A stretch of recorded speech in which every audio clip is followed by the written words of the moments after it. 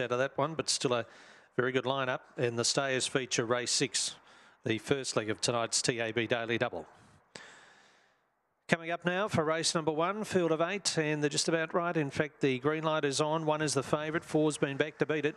Set race one. Ready and away.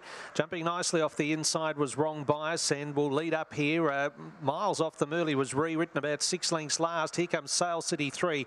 Goes up to sit outside Wrong Bias who kicks strongly. They race by two lengths. Victini Bale unsurpassed to the turn. Further back then was Lindell said no. Valve Bounce come catch me. But in the straight and Wrong Bias is clear and it's home. It's won by about two lengths on the post to Sail City 3, who stuck on. Victini Bales run third and fourth in. Lindell said no. Then Valve Bounce back behind those runners. Come Catch Me, rewritten after a uh, bad getaway, was well back at the finish of the field there. And in front of a couple unsurpassed. The first is running 22.90.